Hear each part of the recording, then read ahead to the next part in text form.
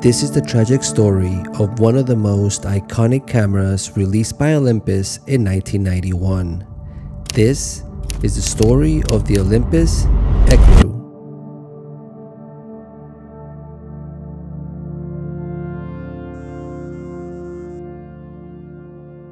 Designed by Naoki Sakai and his famous Japanese design studio, Water Design, the Olympus Ecru is certainly a unique camera. They called it the Ecru, a French word that according to Google, it means raw. In the ECRU's user manual, Olympus chose to define this word as unprocessed, which turns out to be a bit ironic since the Ecru is just a more processed version of two other Olympus cameras.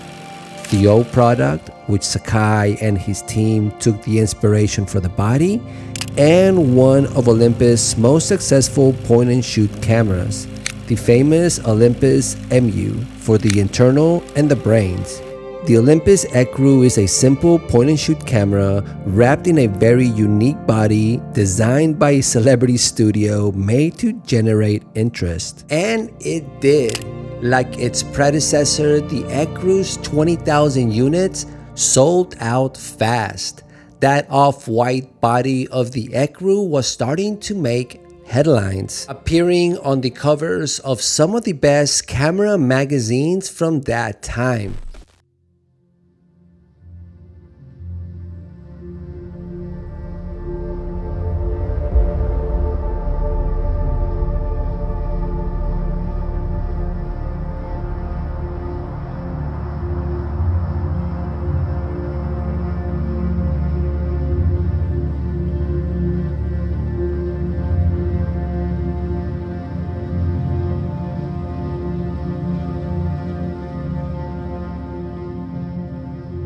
When I first looked at the Ecru from a photographer's perspective, I had a lot of questions. The symmetrical body, the flat face, the sharp edges made no sense to me. The Ecru didn't look like a traditional film camera. In fact, it didn't even look like a futuristic camera either. It was just something in between. From the lack of settings for more manual controls to that pale plastic body, this camera was neither pure form nor pure function. Now, despite the lack of ergonomic design, the Ecru takes some really nice photos.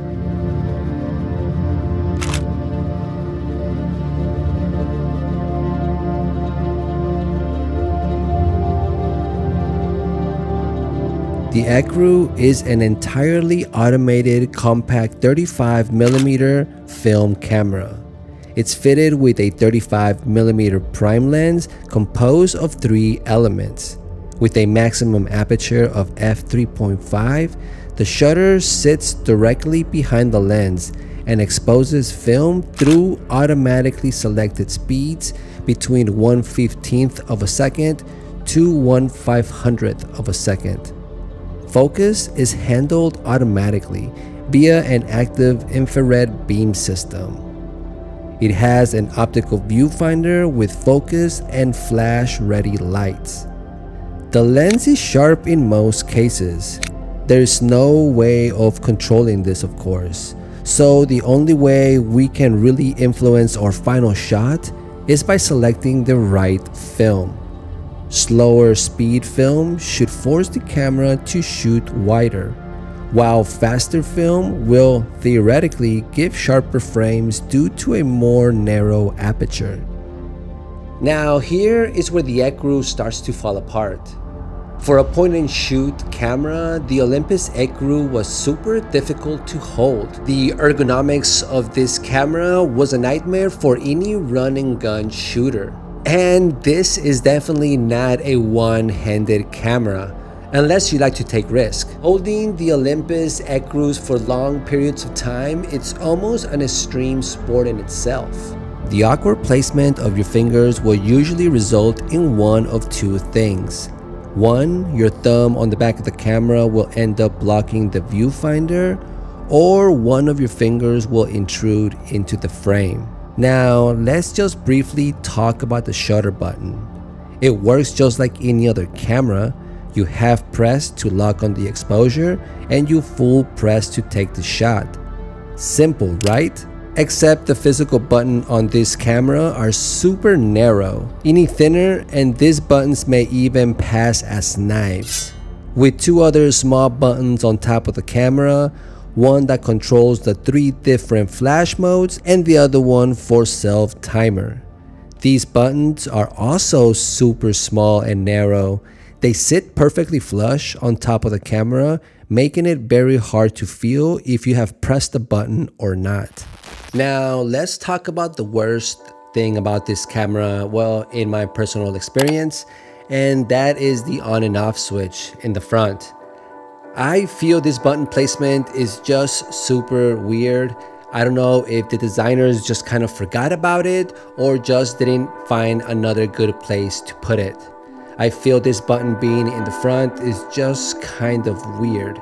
Also, the sound when you turn on the camera is a little less than satisfying, and that is why this button is as confusing as the rest of the body. So, overall, is the Olympus Ecru for you? It's kind of hard to think of a practical reason to own one. I feel this is more of a collector's camera more than an everyday point and shoot. Although it does work well with very little to no effort, but there are many other cameras out there that can effectively and more comfortably do the same thing. But for the Olympus collector or the general camera collector, there is a strong argument for owning one of these. For camera nerds like myself, especially ones that actually value design and uniqueness, the Olympus Ecru is a must-have camera. That's why I'm gonna keep it and I'm just gonna place it back there in my little shelf. If I ever do want to take photos with it, I know that it's going to be a pain in the ass, but they're going to come out with some pretty decent photos. Now, here are some other things that I kind of found interesting about this camera. One of the main things is the actual lens cap is this little mirror looking square with rubbering inside. Now it's kind of flimsy and I feel this is something that you can probably lose very easily. Uh, another cool thing about this camera is that you just put the film in and the camera does everything else by itself. Once you've taken all of your shots, the camera will automatically rewind so you can take your film cartridge out, which is pretty cool. It's pretty much automatics from the time you put the film in there to the time you take it out to go take it developed. Now, another thing is that it's very easy to use. It doesn't have very many controls. Like I mentioned in this video, it's basically just a shutter button and your flash modes. So there is no shutter controls, there is no aperture controls. Everything is going to be based on the type of film that you buy despite the fact that it was kind of hard to hold and kind of a pain in the ass to shoot with but I feel it does take very nice photos and it's gonna look pretty nice in my little shelf back there and uh, it can just now become as part of my set. That's gonna be pretty much it for this week's video guys. If you made it this far, thank you so much please hit the like button. That really helps out a lot. Subscribe. If you guys are not subscribed already make sure you hit and smash the notification bell so you guys can get notified for future videos. And and you guys be safe out there. I'll see you guys next week. Miss you. Miss you. Here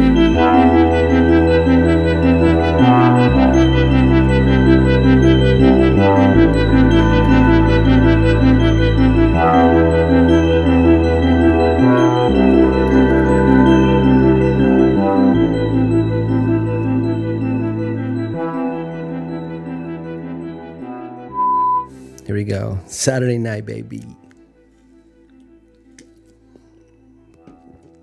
You know it. All right, here we go.